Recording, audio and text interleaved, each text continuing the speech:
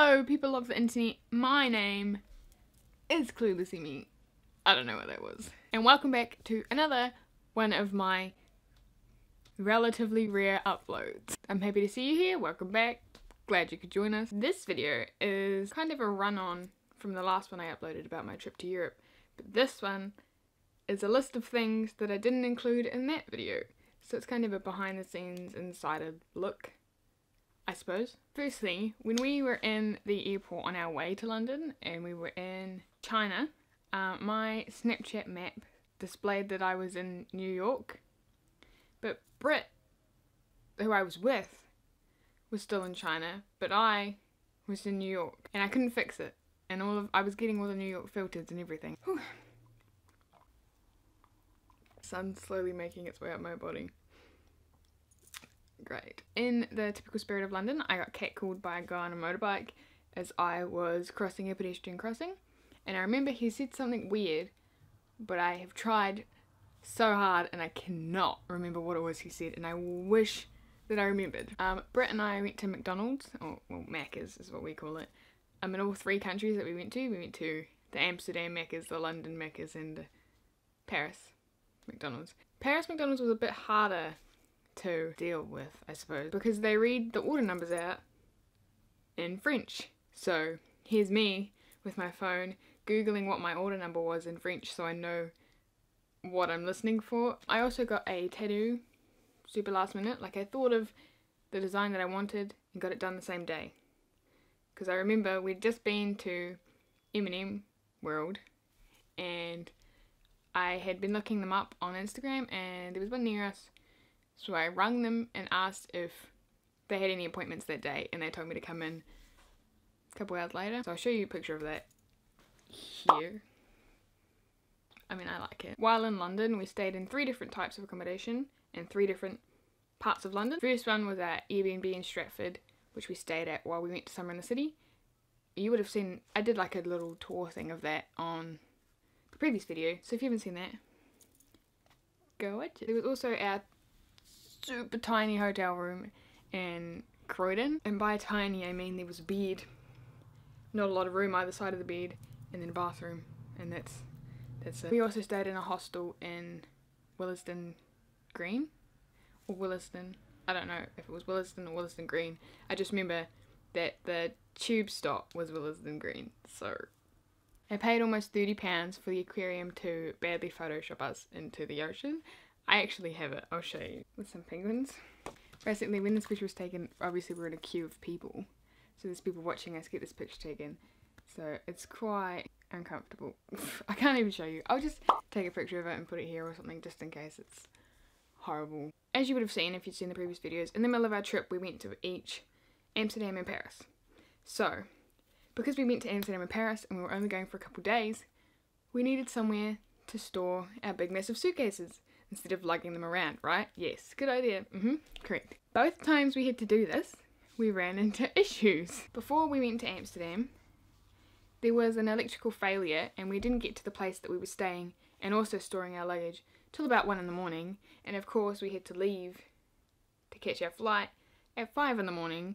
And me, being me, stayed up till at least 2 talking to my mum and my best friend. So, your girl here got about 3 hours sleep the day we went to Amsterdam. And before Paris, all of the trains got cancelled, and it was, to this day, one of the most stressful nights of my life. Couldn't get in contact with the person that we needed to be in contact with, and I had other people trying to help me figure out what I'm going to do. We made it to King's Cross station and gave up and reached out to a relative we didn't know, but we knew existed.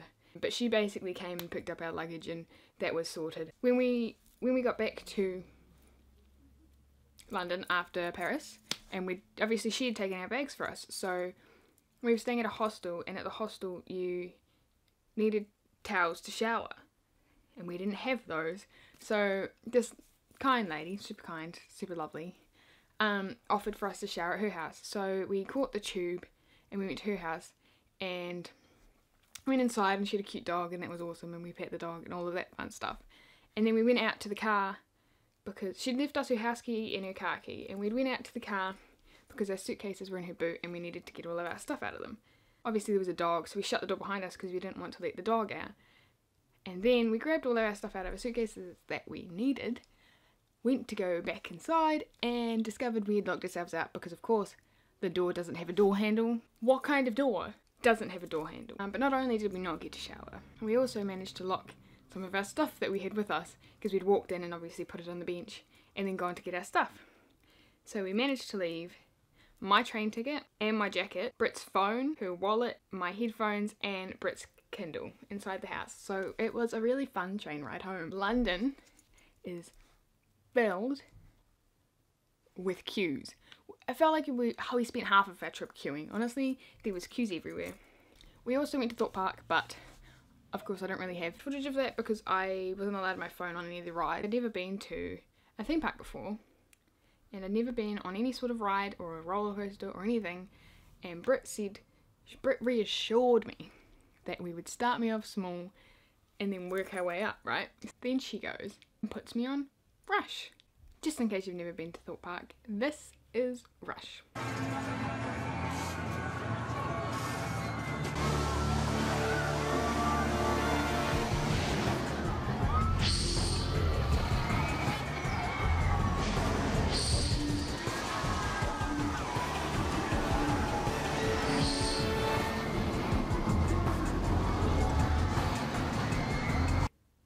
So I knew I was bad at decision making, but it got to the point where I am so bad at decision making that I went to Camden Market with Jamie and Em and I couldn't decide what I wanted to eat because there was so many options. So I literally rang my best friend who was on the other side of the world. Like she was at home, so she was here in New Zealand.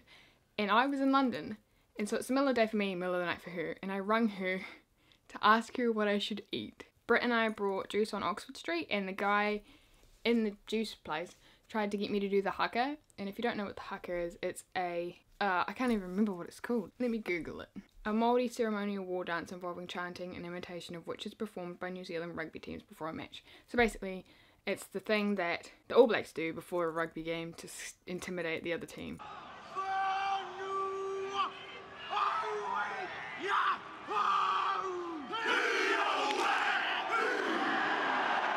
But I didn't know that's what this guy was trying to say, and it took me a very long time to figure out what he was asking me to do. After Summer in the City, a group of us went to the cable car, and while we were in the cable car, Jamie was blasting Carly Rae Jepsen from his phone, just in case he somehow died.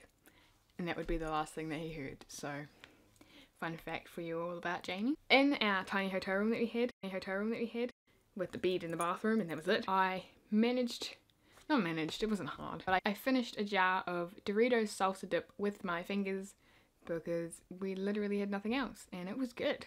We also watched a couple getting their wedding photos, like legitimate wedding photos, taken in front of the Westminster station sign. So I hung out with Chloe.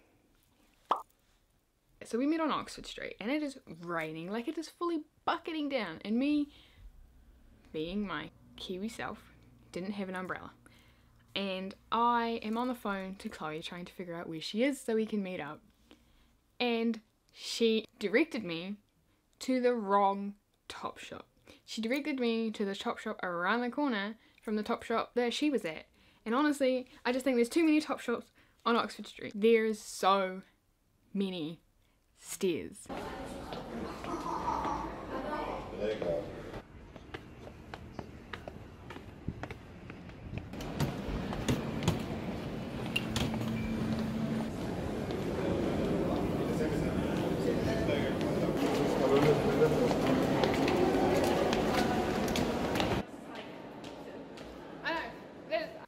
Managed to vomit in the Amsterdam airport. Literally, it was we were checking out to leave. So we just checked into our flight to fly back to London. And so we checked in and I turned around and vomited on the ground.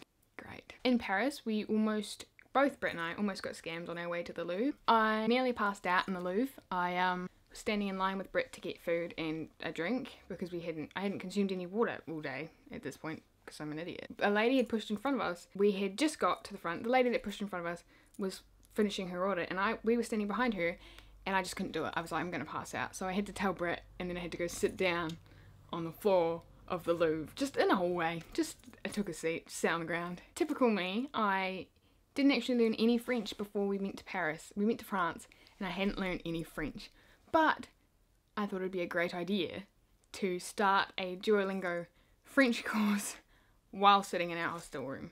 Our flight back from Paris to London uh, was delayed because they wanted to recheck the plane, which is very reassuring of them. I saw the Mona Lisa. Here she is. Look at her go, doing her thing. While we were at our hostel in Paris, we couldn't figure out how to open this one door because we hadn't been that way yet. Kind of struggling with this door, and it took us quite a while, but we got there. As soon as we got it open, we opened the door, and every single person in the reception cheered for us. So they clearly all heard us struggling to open this door. Even the receptionists cheered for us. Um, at the same hostel, there were no forks left, and we had breakfast included with our room, so I had to butter my toast with a fork. It worked. I mean, and now I know that it's possible, so if I ever get put in a similar situation. Okay, that's pretty much all I've got. Um, I'm sure there's lots and lots that I'm forgetting, but I have spent ages compiling this list, and that's all I have so far, so I'm just gonna go with it. Thank you so much for watching. I do hope you enjoyed this inside look at our trip. If you did enjoy it, though, feel free to give it the old thumbs up. It does help me out somehow, I suppose, I'm not really sure, but do that so you can subscribe to see more of this more or less every week. Although lately, or less every month if you're lucky. I'm trying, I'm gonna work on it, I'm gonna try and work on it. Thank you so much again for watching, and I will see you next time. Bye.